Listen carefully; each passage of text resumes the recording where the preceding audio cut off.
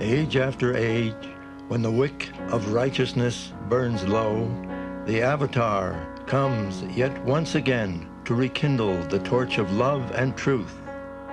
Age after age, amidst the clamor of disruptions, wars, fear, and chaos, rings the Avatar's call, Come all unto me. Although because of the veil of illusion, this call of the Ancient One may appear as a voice in the wilderness, its echo and re-echo nevertheless pervades through time and space to rouse at first a few and eventually millions from their deep slumber of ignorance. And in the midst of illusion, as the voice behind all voices, it awakens humanity to bear witness to the manifestation of God amidst mankind. The time is come. I repeat the call and bid all come unto me. This time-honored call of mine thrills the hearts of those who have patiently endured all in their love for God, loving God only for love of God. There are those who fear and shudder at its reverberations and would flee or resist. And there are yet others who, baffled, fail to understand why the highest of the high, who is all-sufficient, need necessarily give this call to humanity. Irrespective of doubts and convictions, and for the infinite love I bear for one and all, I continue to come as the Avatar to be judged time and again by humanity in its ignorance, in order to help man distinguish the real from the false. Invariably muffled in the cloak of the infinitely true humility of the Ancient One, the divine call is at first little heeded, until in its infinite strength it spreads in volume to reverberate and keep on reverberating in countless hearts as the voice of reality. Strength begets humility, whereas modesty bespeaks weakness. Only he who is truly great can be really humble. When, in the firm knowledge of it, a man admits his true greatness, it is in itself an expression of humility. He accepts his greatness as most natural and is expressing merely what he is, just as a man would not hesitate to admit to himself and others the fact of his being man. For a truly great man who knows himself to be truly great, to deny his greatness would be to belittle what he indubitably is. For whereas modesty is the basis of guise, true greatness is free from camouflage. On the other hand, when a man expresses a greatness he knows or feels he does not possess, he is the greatest hypocrite. Honest is the man who is not great and knowing and feeling this, firmly and frankly states that he is not great.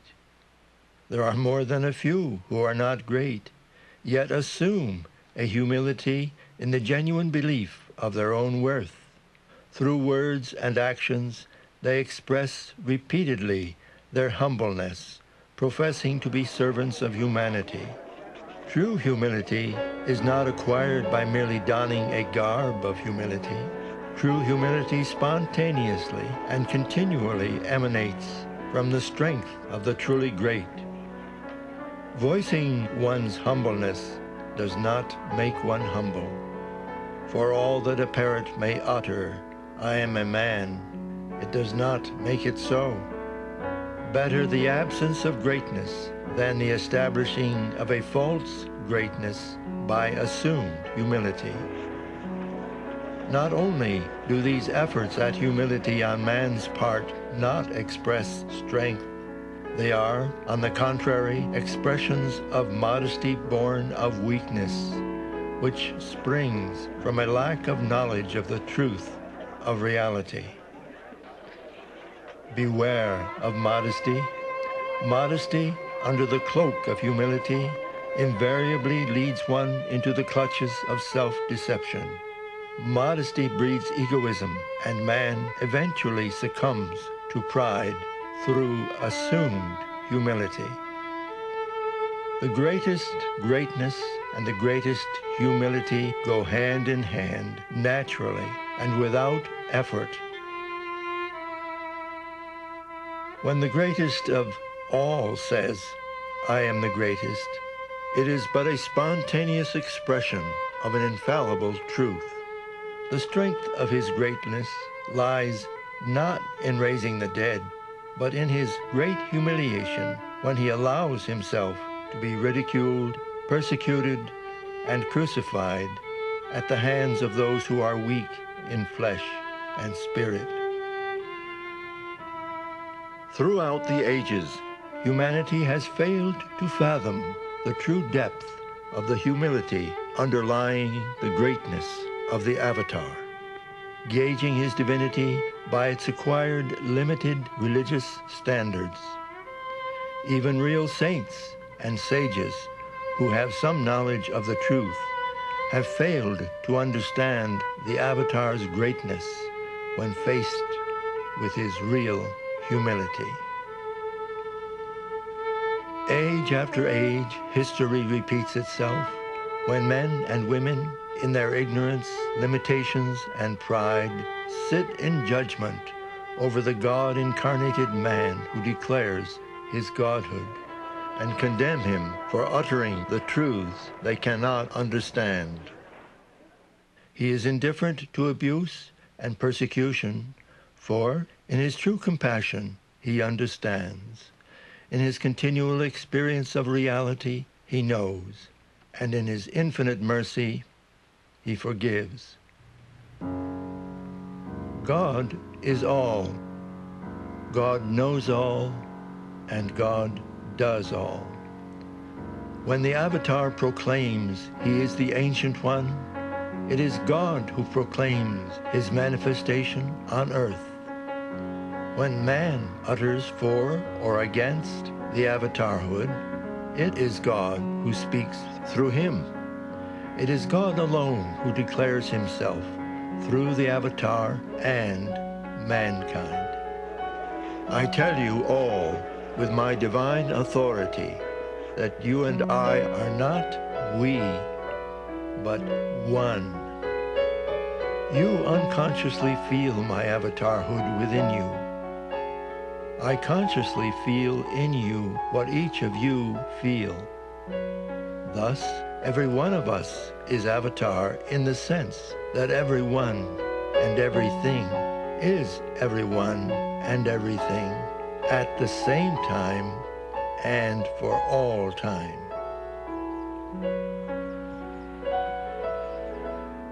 There is nothing but God.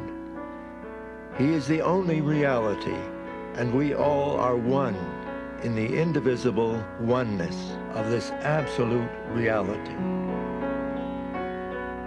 When the one who has realized God says, I am God, you are God, and we are all one, and also awakens this feeling of oneness in his illusion-bound selves. Then the question of the lowly and the great, the poor and the rich, the humble and the modest, the good and the bad, simply vanishes.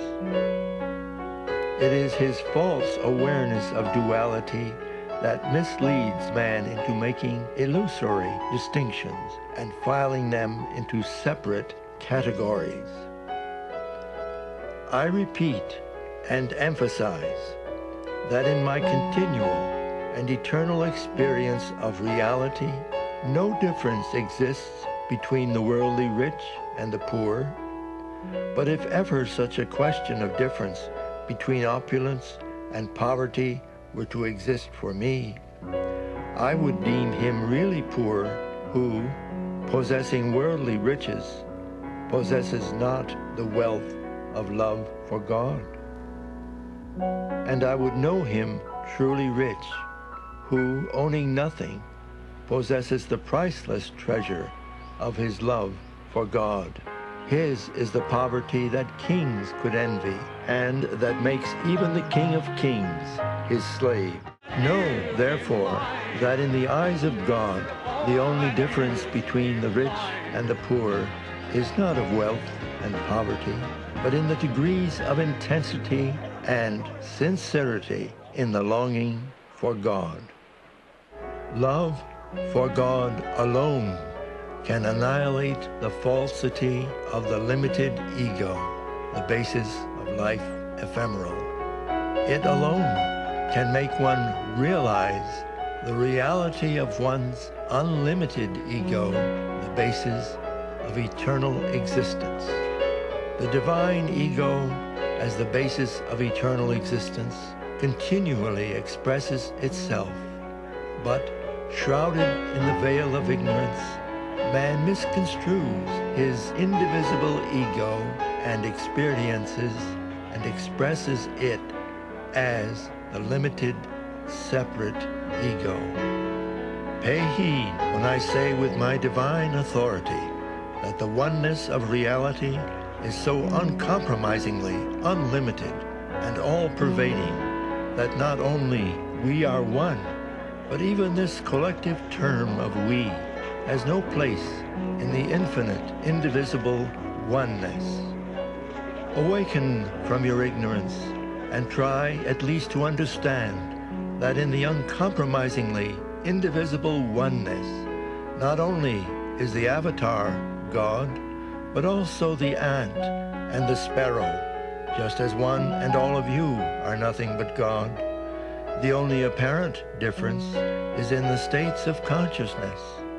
The avatar knows that that which is a sparrow is not a sparrow, whereas the sparrow does not realize this and being ignorant of its ignorance, identifies itself as a sparrow. Live not in ignorance. Do not waste your precious lifespan in differentiating and judging your fellow men but learn to long for the love of God. Even in the midst of your worldly activities, live only to find and realize your true identity with your beloved God. Be pure and simple, and love all, because all are one. Live a sincere life, be natural, and be honest with yourself. Honesty will guard you against false modesty and will give you the strength of true humility. Spare no pains to help others.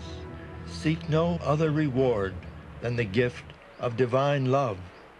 Yearn for this gift sincerely and intensely, and I promise in the name of my divine honesty that I will give you much more than you yearn for. Unity in the midst of diversity can be made to be felt only by touching the very core of the heart. That is the work for which I have come. I have come to sow the seed of love in your hearts so that in spite of all superficial diversity, which your life in illusion must experience and endure, the feeling of oneness through love is brought about amongst all nations, creeds, sects, and castes of the world. I give you all my blessing, that the spark of my divine love may implant in your hearts the deep longing for love of God.